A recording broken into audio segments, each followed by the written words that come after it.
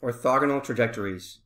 An orthogonal trajectory of a family of curves is a curve that intersects each curve of the family orthogonally, and that is at right angles. If you can take a look at figure 7. Now for instance, each member of the family y equals mx of straight lines through the origin is an orthogonal trajectory of the family x squared plus y squared equals r squared of concentric circles with center, the origin, as you can see in figure 8. Now we say that the two families are orthogonal trajectories of each other. In example number 5, we want to find the orthogonal trajectories of the family of curves x equals k times y squared, where k is an arbitrary constant.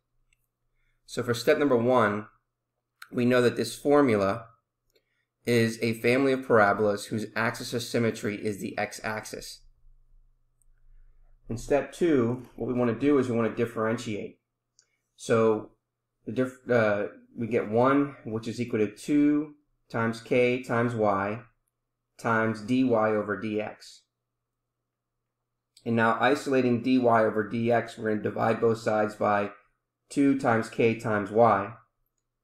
And then what we're doing is we're just uh, just reordering.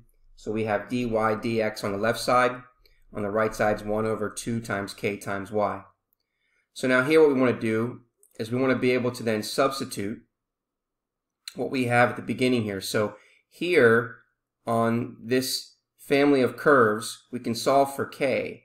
And by solving for k, we're going to get x over y squared. And so then we're going to substitute k to be x over y squared in step 3.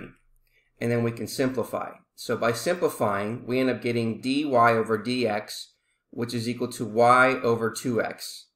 And what this means is that the slope of the tangent line at the point xy on one of the parabolas is y prime, which is equal to y divided by 2x. Now, the key thing here is that an orthogonal trajectory, the slope of the tangent line must be the negative reciprocal of this slope and therefore the original uh, orthogonal trajectories must satisfy the differential equation. So now we would have dy over dx, which is equal to negative 2x over y. And now what we can do is then we can take the integral, well first we're going to multiply both sides by dx and y, so we get y dy, which is equal to negative 2x dx. And then we're going to integrate both sides. So now we're uh, to find the antiderivative of y, which is y squared over 2, which is equal to antiderivative of x is 1 half x squared multiplied by the 2 just gives you negative x squared plus c.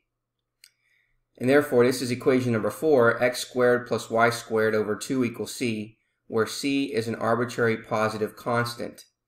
And there you can see the orthogonal trajectories are the family of the ellipses given by the equation 4 and sketched in figure 9.